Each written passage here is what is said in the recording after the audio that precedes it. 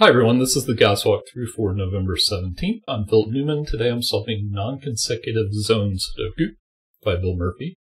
We have normal Sudoku rules, 1 to 9 in each row, column, and 3 by 3 box. Additionally, we have a global constraint, so cells that are orthogonally adjacent, which means in the same row, in the same column, touching each other, not like this. Um, digits in these cells cannot be consecutive. So we can't have 2, 3, they're consecutive. We could have 2, 4. And then we have some cages. These are not killer cages. Um, we can't make a sum of 356. Uh, these are zone cages. So they're just telling us what digits appear in the cage. So this cage contains 356 in some order. And those are the rules. Um, there are actually two versions of this. I'm doing the canon version. Um, there is an alternate version that has a few more cages, I believe. Um, so I will include the links to both of them if you want to try the other one instead. But this is the one that I will do. So let's get started with these cages. Um, because of the consecutive rule, when we have a cage that has consecutive digits, like this 3, 5, 6, 5 and 6 are consecutive, they can't go in the middle. Because if I put a 5 here, say, 6 has to go in one of these cells, but it would be consecutive with 5. So that doesn't work. So 3 has to go in the middle. Here, 2, 8, 9, 8 and 9 are consecutive, so 2 has to go in the middle. 6 to keep 3 and 4 apart, 7 to keep 1 and 2 apart.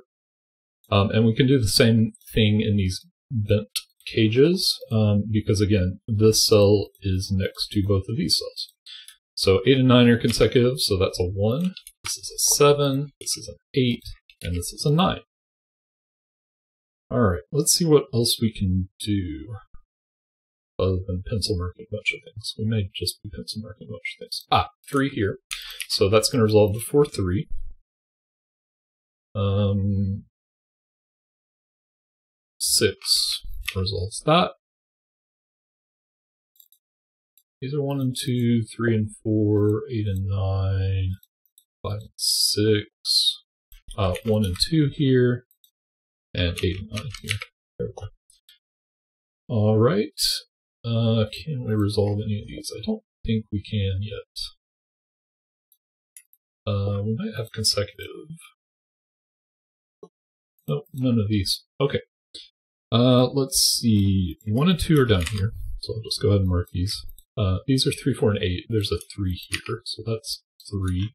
This is four, eight, but because of the non-consecutive rule, this can't be eight. Must be four. That three is going to resolve four and three here, uh, which means we're going to need a six here. It's not in this cage. Uh, these will be five and one to finish that box. Uh, 7 must go here. These are 5 and 9. And the 9 can't go next to the 8. Uh, and that's going to resolve 8, 9. And 2 can't go in these cells. It must go here. That's not in the cage. 1, 2 there. 5 and 6 are done from that 6. And now we're just doing a non-consecutive. We've resolved all the cages. All right, let's look at these triples. Um, some of them are going to be more restrictive than others. So this is 135. We can't do much with that right now. None of them are consecutive. Uh, 268, the 8 can't go next to the 9, so I will mark that. Uh, 479, the 7 can't go here. Uh, 135 again. Um, so this is 1 or 3. And then we have 4, six, nine. Four can't go here.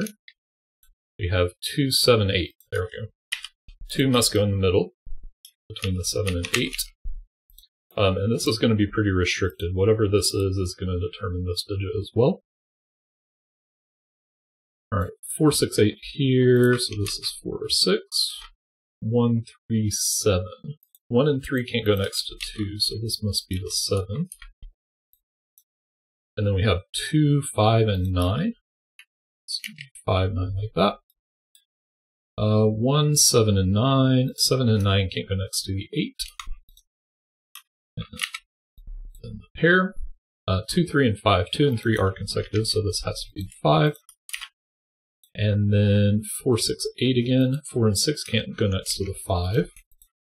And 4 can go next to the 3. So that is resolved. 4 again can't go next to 3. Alright.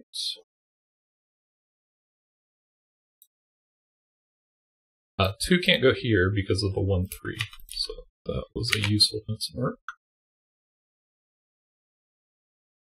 Uh, 2 then is going to have to go in one of these. It's not particularly helpful yet. Uh, this is not 5, so this must be 5. Uh, this is 4 or 9. Could be any of these digits. 5 in this box is in one of these, it can't go next to the 4.